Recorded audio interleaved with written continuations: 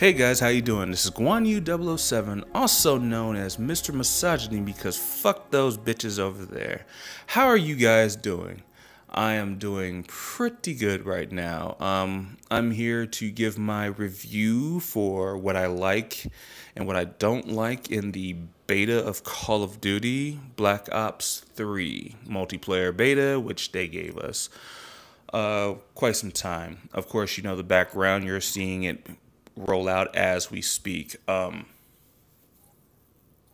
now, my review for this is not a standing review, and by that I mean that this review, depending on how the game comes out, does not hold water to the final review of the game. So basically, I'm just critiquing what I see in the beta itself. And no, I'm not critiquing it like somebody would say critique Warframe, which is always going to be an infinite beta because fuck, they want to make more money and they're cheap and they don't want to fucking finalize the game.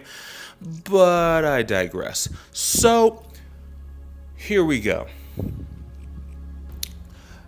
As you probably noticed in most of my videos, the preset I'm using is the War Machine build for the Bombarder, and I particularly do like the War Machine build for Bombarder. Again, I, I like the War Machine um,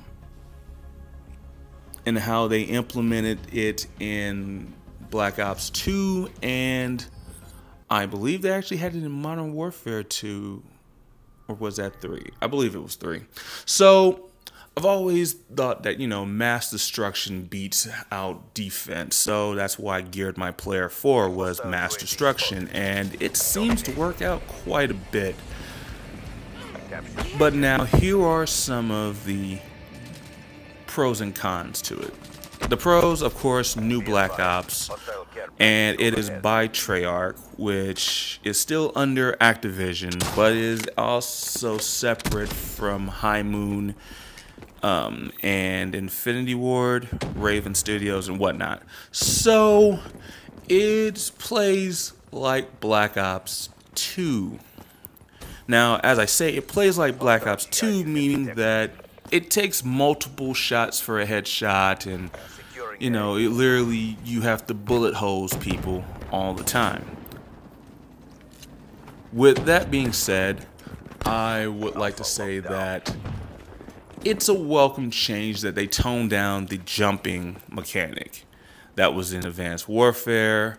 I believe the jumping mechanic was just way too easy to to use and to get away from certain bullets. I believe, you know, bullet damage and impact and bump mapping. I believe that was just it is fun. I could say the the jumping mechanic is fun in Advanced Warfare, but for Black Ops 3, I believe they got it the tone just right. You can jump, but you can't triple dipple super jump three changes over and then see if the guy followed you at that point in time. You know, you can't just literally you can't play basketball in the damn game. That's that's what we're gonna call Advanced Warfare's evasion mechanic. It's basically basketball.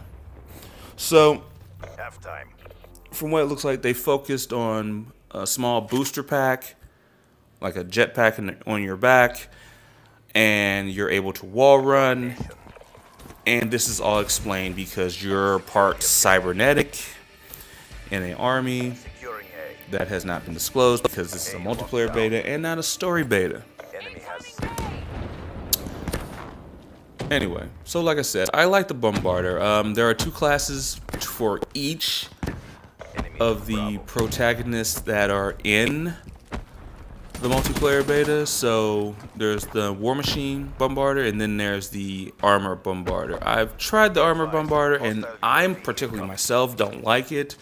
So I stuck with the War Machine Bombarder, and I was having a blast with it. Um, I believe that the the way they have the ranks of the guns itself, it shows progression as you progress, the guns get better. Um, I had no problem with that, but I also seen that certain guns are Of course, this is a beta, so they're going to take a look at that anyway. But so, certain guns are just way too good, like way too overpowered. Especially for a Treyarch game. At some point in time, I thought I was playing Modern Warfare 2, so yeah. But at certain points in time, there are um, certain submachine guns that literally just spill bullets at such a rapid succession. We have uh, light machine guns that are pinpoint accurate to the point where headshots are given. And then we have assault rifles that are in that middle space. But it's funny when an assault rifle can get outdid by a submachine gun, but a light machine gun can outdo both classes, and a shotgun is just a power punch to the face. So, with that being said, I can say that the guns are sort of scaled, and I. I would like to see more tweaking with the guns coming in the future. That is it when I decide to gamefly the game. I'm not buying it. I want to see what it turns out to be first, and then we can go ahead and move on to the next step, if there is going to be a next step, of course. So, now that I got the guns out of the way, the environment... Now, Treyarch is known for giving you good good environments from Black Ops 1 and Black Ops 2. But Black Ops 3's, the maps they gave us, felt so well rounded that they literally take a virtual shit on every map in Advanced Warfare. I mean, literally, virtual dump, shot deuce, Cleveland steamer. This is amazing as it seems like they really put time and effort shrinking the map, uh, looking at the corridor, seeing how things are, and I can actually tell that this is going to shape up to be, well, at least the maps they gave us, those maps are going to shape up to be some of the best maps that you'll see in the in this Call of Duty, which people are already dubbing this to be the next Call of, the next next gen Call of Duty, and I can't say nothing about that yet. Like I said, no final product. I can't make a verdict of that. However, I'm hoping it does.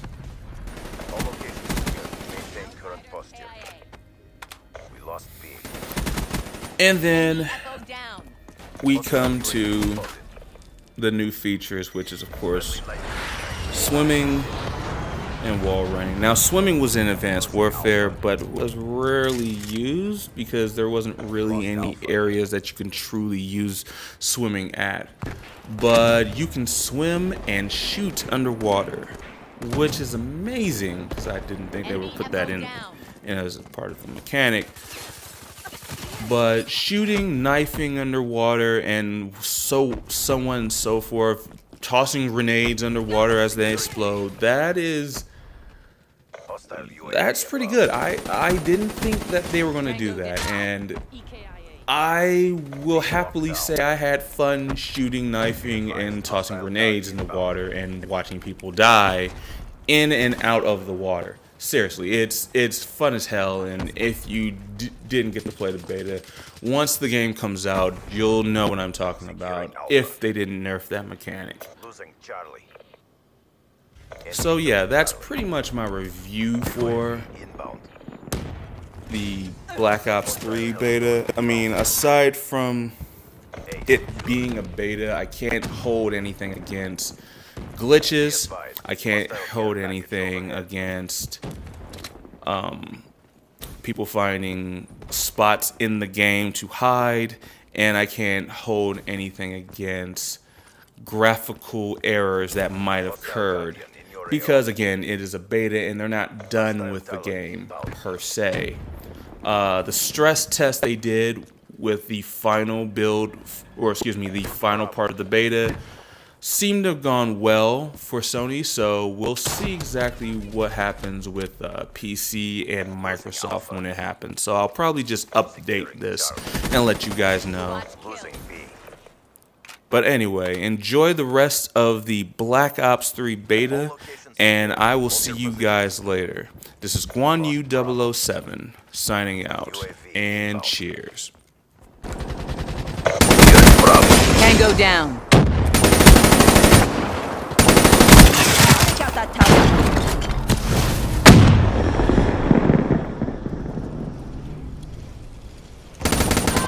Tango down.